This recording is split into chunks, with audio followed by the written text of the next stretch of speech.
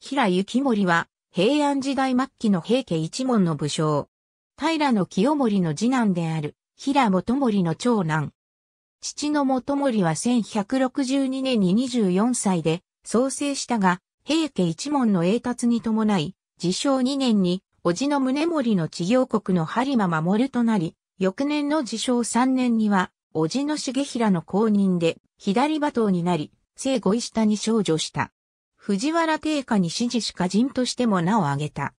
都落ちの際に、自身の読み草を定家に託し、その包み紙に書かれた和歌は後に新直線和歌集に日集している。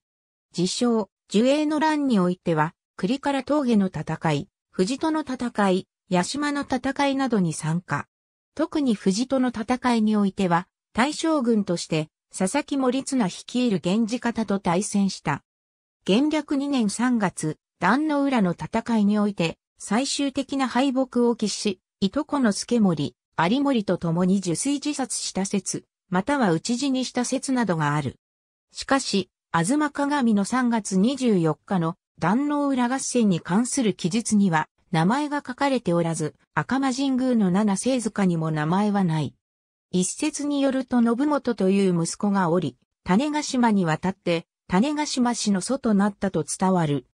奄美群島に伝わる平家を中土伝説では、壇の浦の戦いから落ち延びて、いとこの助森、有森や彼らの配下と共に生き延び島民に文化を教えて島を統治したとも伝わっている。ありがとうございます。